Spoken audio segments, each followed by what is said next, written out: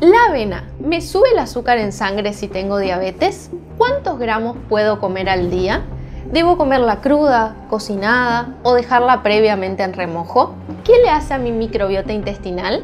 Todas estas preguntas me las hicieron ustedes en redes sociales. Me encargué de recopilar cada una de sus dudas para hacerles este video sumamente completo. Además, quiero contarle qué les hace en su cuerpo comer avena todos los días. Y por último, quiero darles mis dos recetas preferidas. Acompáñame en este video, soy la nutricionista Camila Beller, hermana de los doctores, y me encanta poder estar acá compartiéndoles mis conocimientos. La avena es un cereal sumamente completo. Inclusive, actualmente podemos decir que es un alimento funcional.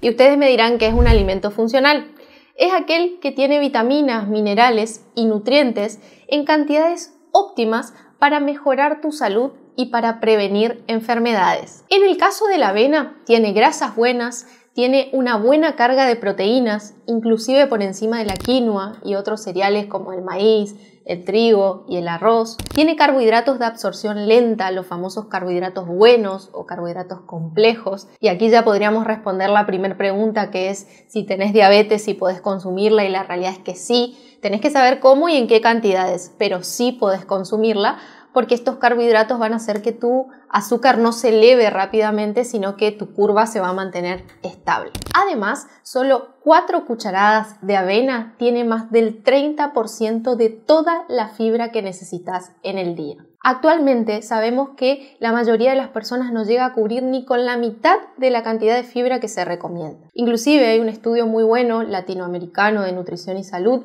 que se hizo con 9.000 participantes de 8 países distintos, que nos dio unos resultados bastante alarmantes. Estos resultados fueron que los hombres consumían menos de 17 gramos de fibra al día y las mujeres estaban consumiendo menos de 15 gramos al día la mitad de la recomendación. ¿Y por qué es tan importante que consumas suficiente fibra? Porque te puede ayudar a prevenir cáncer de colon, hemorroides, estreñimiento, diverticulitis y un montón de enfermedades que te voy a contar a continuación. La fibra que contiene la avena en su mayoría son beta-glucanos. Los beta-glucanos son excelentes para la salud de tu corazón, ya que pueden ayudarte a reducir el famoso colesterol malo, que es el LDL, y también te pueden ayudar a mejorar el colesterol HDL, el famoso colesterol bueno, que es justamente el que agarra el colesterol que anda dando vuelta en la sangre y la lleva al hígado para eliminar.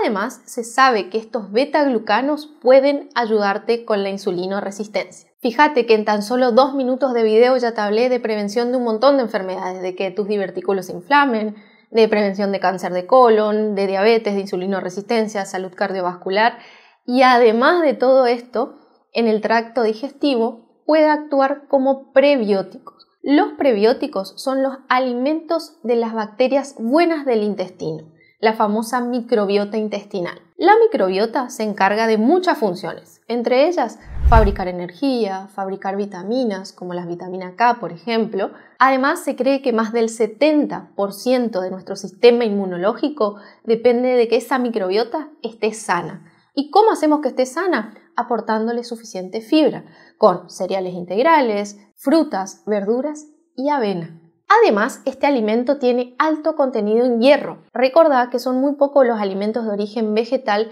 que los contienen en cantidades suficientes.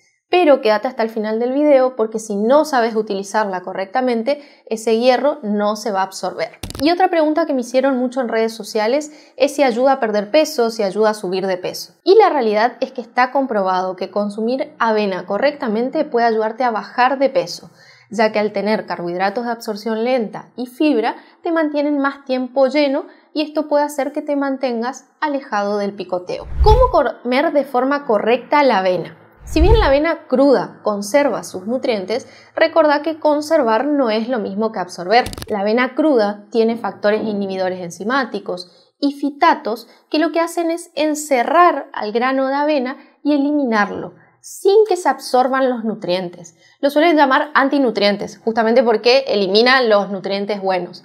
Entonces, ¿cómo hacemos para eliminar esos antinutrientes? Hay varias opciones. Una de ellas es colocar la avena en un recipiente y colocar agua por encima. También puedes tirarle un chorrito de vinagre o un chorrito de limón. y esto lo vas a dejar reposar por 10 horas aproximadamente. Al día siguiente vas a filtrar esa preparación y listo, podés consumirla.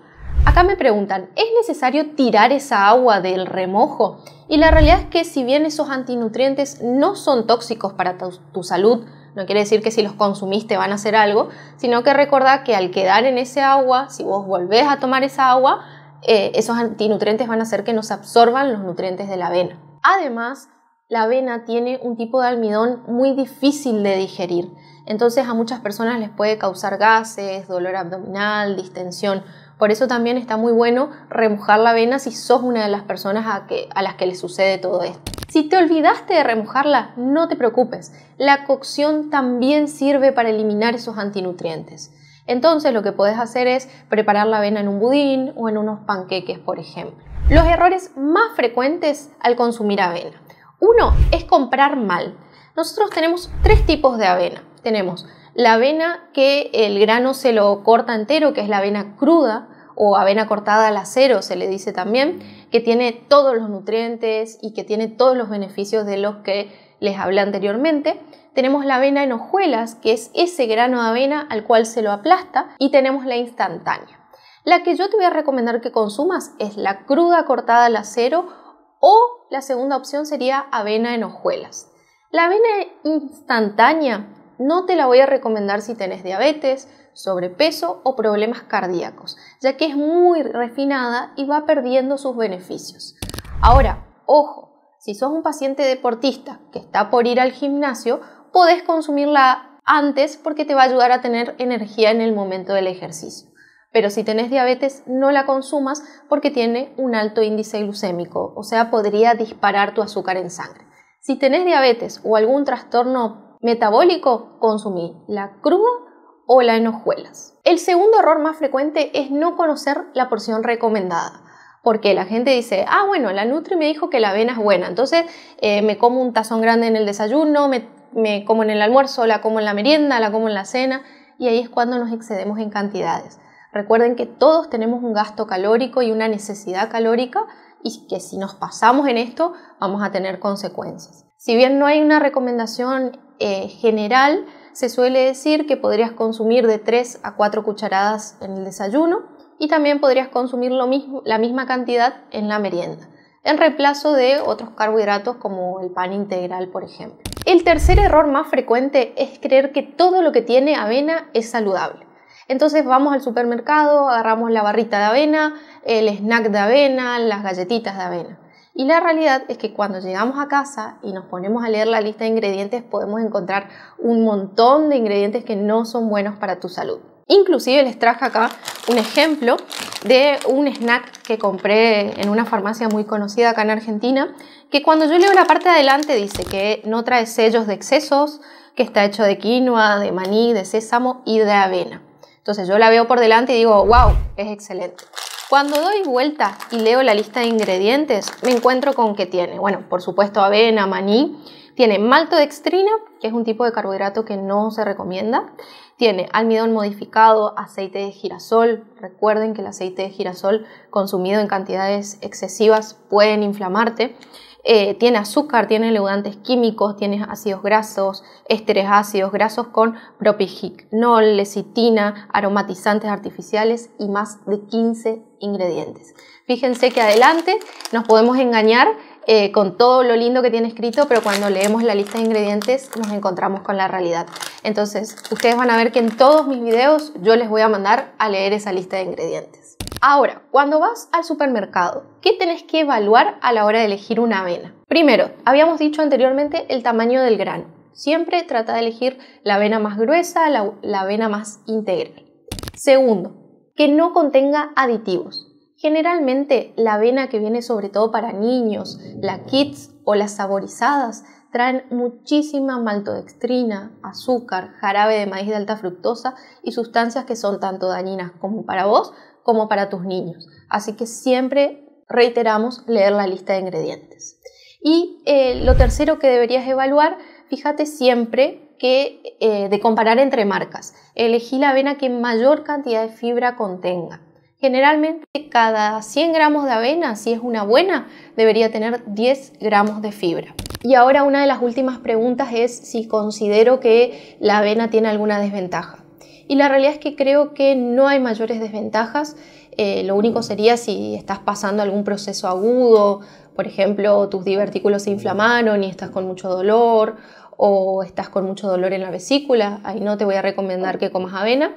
O en Argentina no solemos recomendarla a los pacientes con celiaquía, ya que nuestros cultivos están contaminados generalmente con trazas de gluten.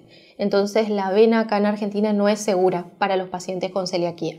En el resto del mundo, por supuesto que pueden consumirla, ya que los granos de avena en sí mismos no tienen gluten, pero siempre fíjense que tengan los sellos, por supuesto. Y ahora sí, lo prometido es deuda, les voy a contar mis dos recetas preferidas. La primera, que es la que me hago casi a diario, son los panqueques, eh, que lo que hago es tan simple como pisar una banana, un plátano, colocarle dos cucharadas de coco rallado, eh, tres cucharadas a cuatro bien grandes de avena y un huevo. Eso mezclo bien y lo llevo a una sartén antiadherente vuelta y vuelta. Yo lo suelo guardar en un tupper en la ladera porque me gusta consumirlo frío y los llevo al día siguiente para mi desayuno. A los panqueques también puedes agregarle canela si quieres endulzar, aparte de que es muy buena para la salud y sobre todo para pacientes con diabetes. Yo no los endulzo ni con edulcorante ni con ningún tipo de endulzantes. Y mi segunda receta preferida es un budín que también es sumamente fácil de hacer. Vas a colocar una taza de avena, una taza de leche animal o bebida vegetal, dos bananas pisadas, dos cucharadas grandes de coco rallado, arándanos, la cantidad que, quieras o que tengas en tu casa y ralladura de limón.